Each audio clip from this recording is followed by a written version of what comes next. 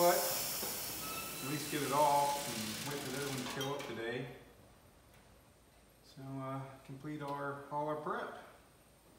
Not much left to do. So we're gonna work on that, get this fan clutch changed, and uh, just drive it more. So a few more days before we gotta pack up and leave, so I make sure everything's ready and no surprises like the fan clutch was where it wasn't working. So we're gonna get the new one on. All right, we're gonna work on getting this fan clutch off. So I've done this before, I know what I gotta do. I need to pull the air intake off so I have room to fish it out of here after I get it off the water pump. You can take this off. You gotta be real careful because there's an adapter ring right there to make up the extra size and it has wadded up before and then it'll suck dirt into your throttle body and that's no good. I'm hoping I can jar it loose with the wrench since it hasn't been on here very long, or I might have to do the uh, air hammer trick where you actually take the air hammer on the edge of the nut and hit it and get it to break loose. But I'm hoping it's only been on here for a day. This might work.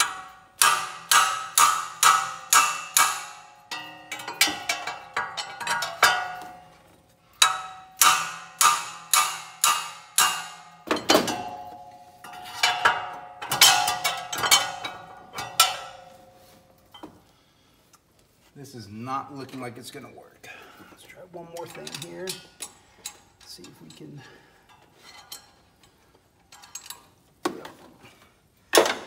Let me get a little pry bar in there and see what happens.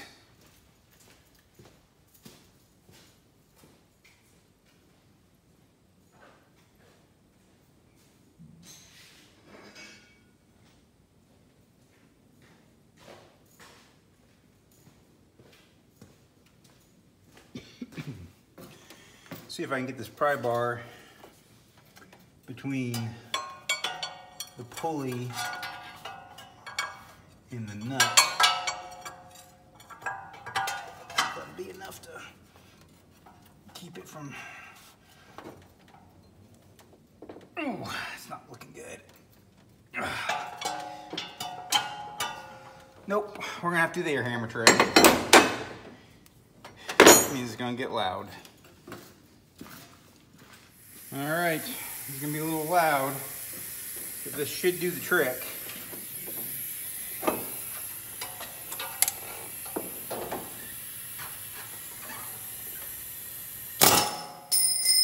And there with the chisel.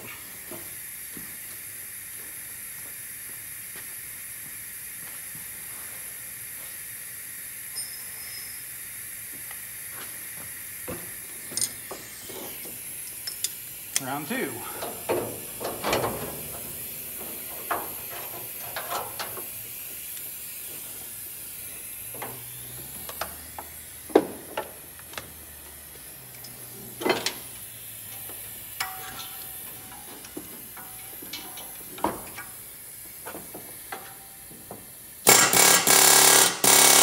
Ah, there we go. Doesn't take much. Especially since this clutch hasn't been on here very long. So we're gonna unscrew this. We're gonna take the fan blades off to uh, wait for the new clutch to come.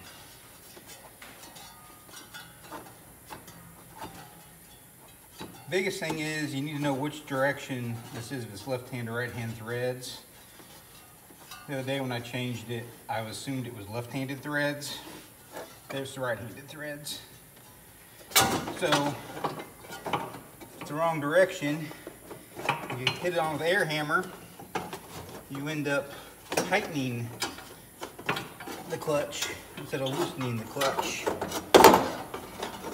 And there we go. I'm gonna take these four bolts out of the back and uh, wait for the new clutch to come. You can see what I was actually doing in there very well. If you look right here, you can see where I hit it with air chisel. Hit it right on the edge there and get the nut to start turning and then you can break her loose real easy. Some people will take the serpentine belt and you wrap it around there and put like a pair of vice grips or something on the uh, belt to hold that pulley tight. And that works, but if you have access to an air hammer, this works really easy usually. And generally not worried about messing the nut up because more than likely if you're taking it off, you're replacing the fan clutch. So it's not a huge deal.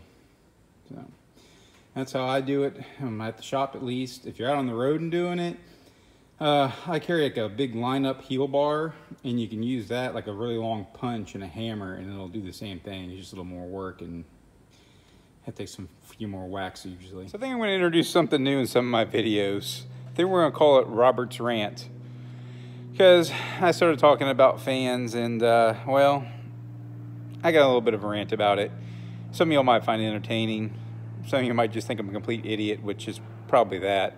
So stay tuned for Robert Rant. All this fan clutch toss got me uh, got an idea here to tell you about a little story and reason why I do certain things the way I do them. So a lot of people will be like, oh, just go to electric fans. Electric fans, you know, they cool awesome, you know, and free up all this extra horsepower and they're the world's best things in sliced bread.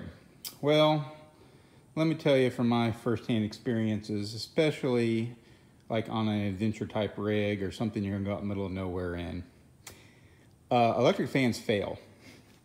And when they fail, you're done. There's nothing you can do other than drive fast to try to keep it cool. And we all know when you're off-road, you can't always drive fast. Now, a clutch fan that's properly shrouded, especially like this, this is the actual shroud and everything for a 6.2 diesel truck, so it's ginormous radiator and shroud.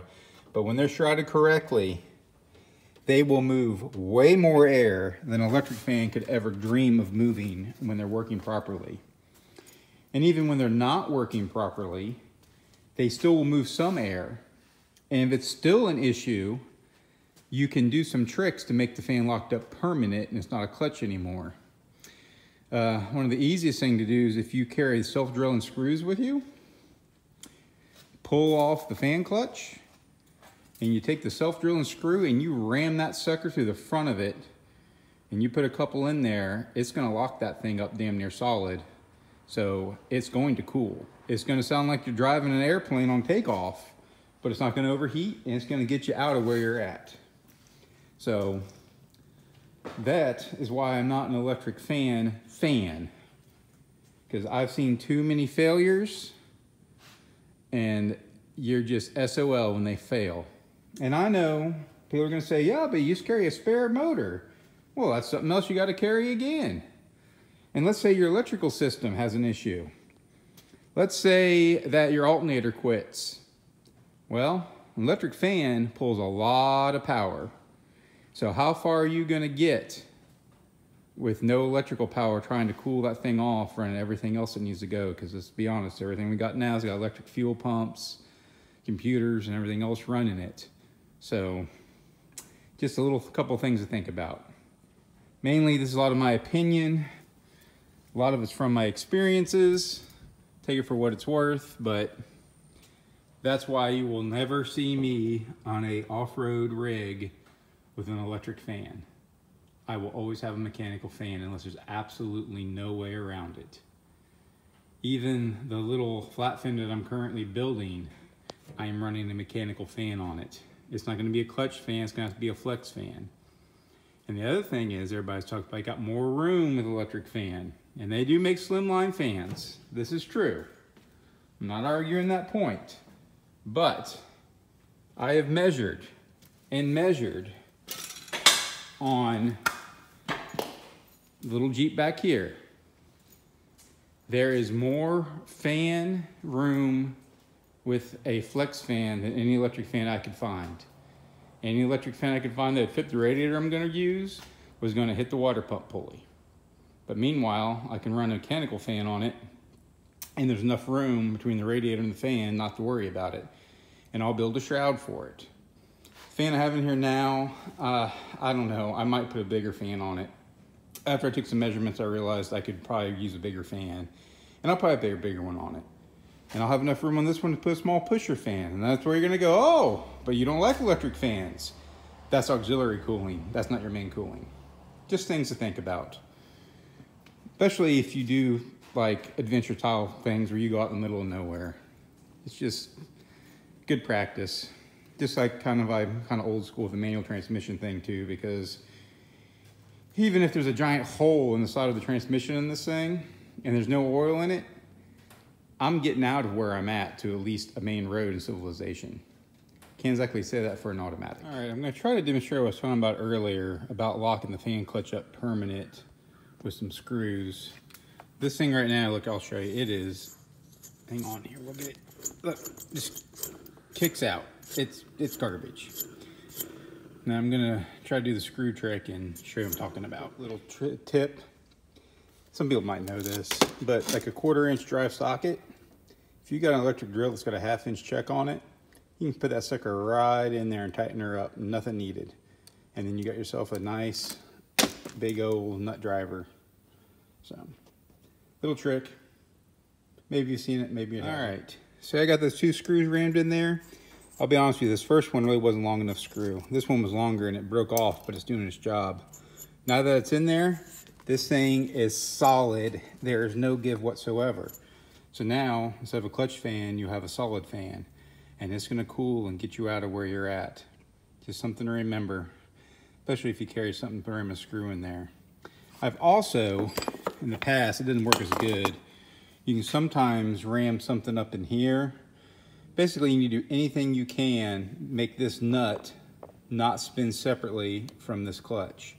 Some fin clutches are not a nut. It's going to be a thing that goes on your water pump, four bolts for older style stuff. But the front is the same kind of ordeal. You jam a screw in there, she's locked up solid. So there's your lock up the fan clutch in an emergency trick. More you know, I guess.